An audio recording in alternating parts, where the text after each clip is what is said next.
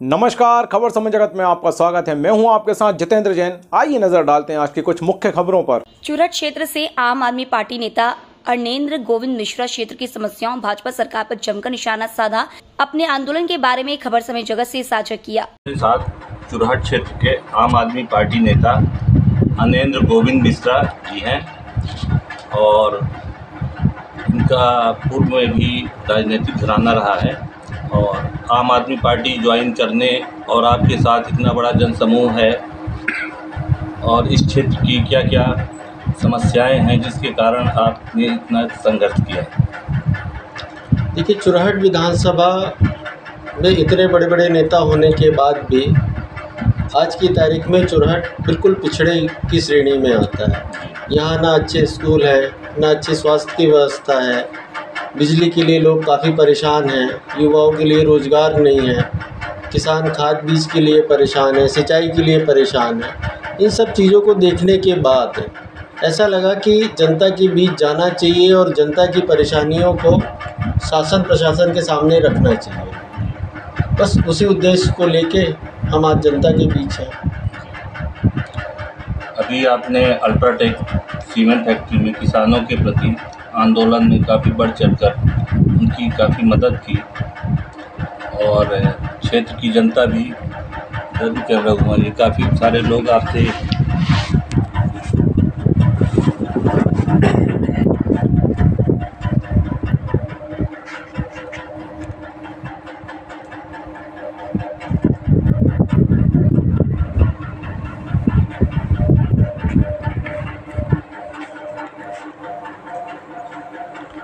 हाँ तो इसके बारे में कुछ बताइए। ये अल्ट्राटेक जो सीमेंट फैक्ट्री है, बगवार में है, ये कभी जेपी के पास हुआ करती थी। 2017 में जेपी से अल्ट्राटेक ने इसको खरीद लिया। और वहाँ जो किसानों की ज़मीन ली गई थी तो जब जेपी ने वहाँ ज़मीन ली थी, तब ये कहा था कि जिसकी भी ज़मीन ली जाएगी, उसको मुआवजे के साथ साथ यहाँ पर नौकरी दी जाएगी और नौकरी भी परमानेंट दी जाएगी। लेकिन हुआ क्या कि जेपी ने भी उनको परमानेंट नहीं किया और अल्ट्राटेक में भी जब वो काम कर रहे हैं पिछले छः सात सालों से तो उनको परमानेंट नहीं किया गया।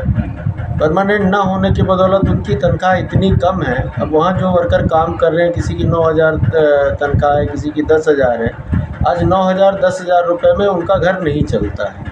तो यही बात उन, जो वहाँ पर कर्मचारी लोग काम करते जिन किसानों ने अपनी ज़मीन दी हुई थी उन्होंने हमसे चर्चा की कि भैया इनके विरुद्ध आप हमारा सहयोग करिए कि कम से कम ये हमारी तनख्वाह तो बढ़ाएँ, हमें परमानेंट तो करें। उसी के उसमें जब उन्होंने अपना आंदोलन किया तो उसमें हमारा उनको पूरा समर्थन था। मैं गया भी वहाँ पर।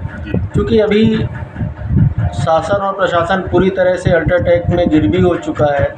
चाहे नेता हों, चाहे और अधिकारी हों, वो अल्ट्राटेक के अलावा किसी की बात सुनने को तैयार ही नहीं है। तो हम लोगों ने कहा, ठीक है, अभी दो महीने संघर्ष करते, चुनाव का समय है चुनाव के बाद देखेंगे। अगर जनता ने हमें मौका दिया तो फिर उनको अच्छे ढंग से समझाया जाएगा कि पैसे जितना यहाँ तुम कमा रहे हो सीमेंट बेच के तो कोई तुम्हारे से, तुम्हारी कंपनी तो नहीं मांगी जा रही है। बस यही कहा जा रहा है कि उतनी तनख्वाह कर दो, जिससे उन कर्मचारियों का घर परिवार चल सके।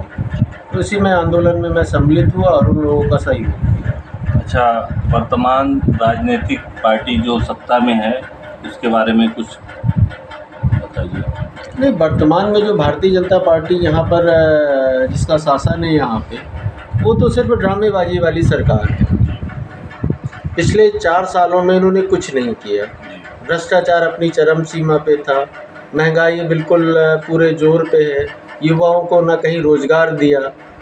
किसान भी परेशान बिजली की समस्या हर क्षेत्र में है। जब चार साल साढ़े चार साल बीत गए पाँचवा साल चुनाव आ गया तो लाडली बहनों के नाम का एक एक हज़ार रुपये का झुंझुना शिवराज जी सवेरे से शाम तक कर रहे हैं।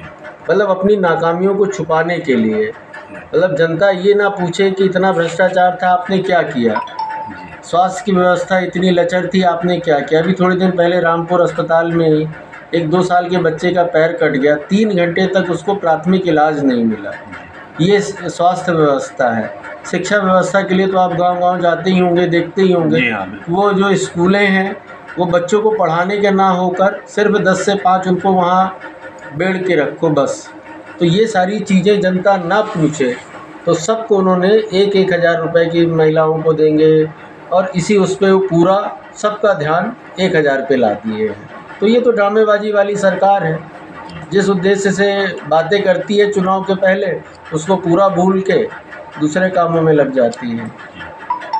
अभी आपने चुरहट विद्युत मंडल का घेराव किया, काफ़ी सारा जनसमूह था आपके साथ में, और आगामी तीन तारीख को आप खड्डी में घेराव करने वाले हैं। यहाँ की समस्याओं में तो कुछ सुधार हुआ है, और खड्डी के बारे में मैं नहीं जानता। बताएँ उसके बारे में। ये हर जगह की खड्डी ही नहीं, चुरहट ही नहीं, पटपरा ही नहीं, बगवार ही नहीं, पूरे विधानसभा, मैं तो अभी सिर्फ़ विधानसभा में घूमा, मुझे लगता है पूरे प्रदेश की हालत बिजली व्यवस्था को लेके काफ़ी ख़राब है। क्योंकि मध्य प्रदेश में बिजली का उत्पादन अच्छा हो रहा है, लेकिन जो बिजली का डिस्ट्रीब्यूशन होता है, उस डिस्ट्रीब्यूशन के लिए ट्रांसफार्मर की ज़रूरत पड़ती है केबल की ज़रूरत पड़ती है, खंभों की ज़रूरत पड़ती है। आज से 10 साल पहले मध्य प्रदेश में तारों को जो नंगे तार थे, उनकी जगह में केबल की व्यवस्था की गई। केबल से हम सप्लाई करेंगे बिजली की और नए ट्रांसफार्मर लाए। लेकिन उस समय इतनी उसमें कमीशन खोरी हुई कि जो सबसे ख़राब केबल थी, वो सरकार ने खरीदी जो सबसे ख़राब क्वालिटी के ट्रांसफार्मर होते थे, उसको खरीदा उसके बदौलत आज 10 साल बाद वो केबलें गल गल के गिर रही हैं। ट्रांसफार्मर ख़राब हो रहे हैं। तो जो बिजली की जन जन तक पहुँचाने की व्यवस्था होनी चाहिए, वो ख़त्म हो चुकी है और वो इतना जल्दी नहीं सुधरने वाले। सरकार को फिर से पूरा नया इंफ्रास्ट्रक्चर तैयार करना पड़ेगा, जिसमें पूरी नई केबलें हों, नए ट्रांसफार्मर हों कनेक्शन के हिसाब से ट्रांसफार्मर की कैपेसिटी बनाई जाए। तो संघर्ष कर रहे हैं, जहाँ अब आज चुरहट विधानसभा में सौ ऐसे गाँव हैं, जहाँ के ट्रांसफार्मर जले हुए हैं। सरकार के पास ट्रांसफार्मर ही नहीं है। और है भी पता नहीं किस क्वालिटी का कैसा लगाते कि दो दिन चार दिन जलते हैं उसके बाद फिर वो ख़राब हो जाते हैं। तो संघर्ष खबर समय जगत के लिए अनुराग शुक्ला की report. Latest news subscribe to our channel and press the bell icon.